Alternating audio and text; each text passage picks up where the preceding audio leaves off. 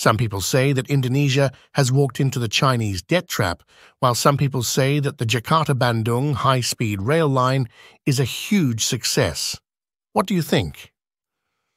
Well, in this video, we'll discuss Southeast Asia's inaugural high-speed railway, the Indonesia HSR, and evaluate whether its substantial $7.2 billion investment is justified. Before revealing our conclusion, we encourage you to subscribe to our channel. Now let's explore whether the Indonesia HSR is a potential debt trap or a pioneering project set for success. Indonesia's infrastructure boom. Indonesia, a nation of a thousand islands, has yet to establish a fully integrated national transportation network, particularly in terms of railroads and waterways. This deficiency poses a bottleneck for economic growth and hinders the attraction of foreign investments. Jakarta and Bandung, situated on Java, the most populous island with 150 million people, encompassing nearly 60% of the nation's population, face significant challenges. Greater Jakarta alone is home to over 30 million people. Bandung, renowned as a tourist destination and a hub for Indonesia's textile industry, stands to benefit directly from the completion of the high-speed railway. This project promises to enhance communication and logistics between Bandung and Jakarta, the financial center, and spur the development of light rail and other supporting transportation facilities, thereby alleviating urban traffic congestion. Since assuming office in 2014, President Widodo has been championing ambitious infrastructure plans. The government's vision includes the construction of 2,659 kilometers of roads, 1,000 kilometers of highways, 3,258 kilometers of railroads, and 24 large ports, requiring a substantial capital investment of 424.5 billion US dollars. To facilitate this, the administration has introduced public-private partnership regulations, creating a more flexible legal framework to attract private investment in infrastructure projects. And such a grand scheme with enormous market potential attracted interest from both economic giants in Asia, Japan, and China. The Jakarta-Bandung Railway is a landmark project under China's Belt and Road Initiative as the country expands its presence in Southeast Asia. It also represents a key step in the Indonesian government's infrastructure push. The line connects Indonesia's capital Jakarta and Bandung, the nation's fourth largest city. The 142.3 kilometers railway will make Indonesia the first country in Southeast Asia with a high-speed railway and will cut travel time between Jakarta and Bandung to around 40 minutes from more than three hours.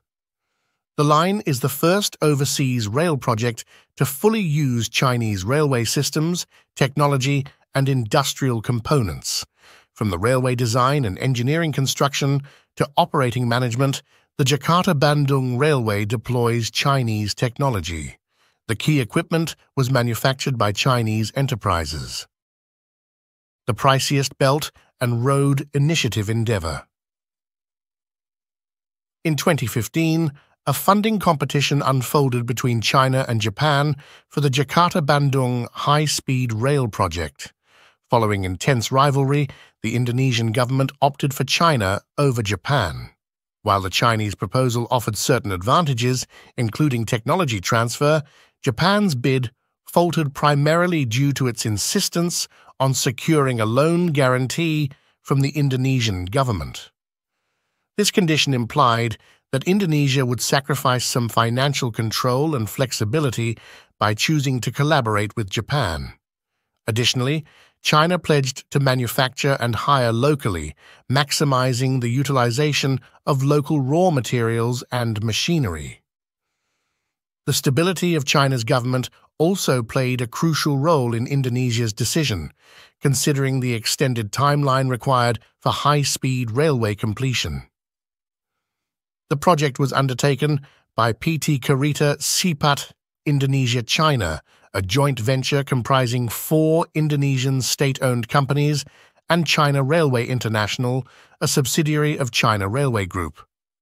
Originally estimated at $6 billion, the Jakarta-Bandung HSR project was funded through a 75% loan from China and a 25% contribution from Indonesian and Chinese shareholders. The loan spans 40 years, with a 10-year grace period. Initially slated for construction commencement at the end of 2015, the project was originally projected for completion by 2018, with operations starting in 2019. KCIC secured a 50-year operation rights agreement. However, the project faced setbacks due to increased land acquisition costs, budgetary overruns, and the onset of the pandemic. Due to escalating construction costs and pandemic-induced delays, the Indonesian government had to allocate an additional $1.2 billion, bringing the total cost to $7.2 billion. Consequently, the Jakarta-Bandung Railway stands out as the costliest infrastructure project under the Belt and Road Initiative, surpassing the price tags of other China-backed ventures such as the China-Laos Railway, Addis Ababa-Djibouti Railway, and Mombasa-Nairobi Railway, each ranging between from 4 to 6 billion dollars. A catalyst for economic development. Despite its substantial construction cost, the Jakarta-Bandung HSR has yielded numerous benefits for Indonesia. It generated approximately 51,000 jobs, facilitated a cumulative purchase of local materials and inputs amounting to $5.1 billion, and offered technical training to 45,000 Indonesian workers. Additionally, it holds the potential to attract new investments and spur manufacturing and commercial development along the route and around key stations. During the construction, China Railway established a factory in Indonesia, employing 2,000 to 3,000 local workers and providing step-by-step training in construction skills, from steel bar tying to beam erection. Post-service, the company will further train the local operating and management teams, contributing to the development of a sustainable ecosystem in Indonesia. The Jakarta-Bandung HSR has significantly transformed travel between the two cities. Within 100 days of operation, the railway carried a total of 1.45 million passengers, achieving a peak daily occupancy rate of 99.6%, with 21,537 riders. The number of bidirectional trains per day increased from 14 in October 2023 to 40 and 48 on weekends, totaling 3,487 trains. Beyond these numerical achievements, the HSR has made a tangible impact on ground-level travel and commuting, reducing congestion on the previously congested highway between Jakarta and Bandung as more individuals opt for the new train option, including business people, families, and tourists. Is Jakarta-Bandung HSR worthy? The Jakarta-Bandung high-speed railway transcends being merely a rail line. It stands as a catalyst for economic advancement in Indonesia. By seamlessly connecting Jakarta and Bandung, it is positioned to foster the growth of industries along the route, encompassing commercial development and tourism. This modernization of the transportation system goes beyond mere convenience. It is a means to elevate economic activity and enhance the well-being of the population. While still in its early stages, the operational track record of the Jakarta-Bandung HSR along with the challenges faced since its recent launch, lays a robust foundation for the railway to play an increasingly significant role in stimulating broader regional and national development in Indonesia over time. As a pioneering and transformative initiative, this railway holds promising prospects for fostering stronger and more expansive China-Indonesia economic cooperation.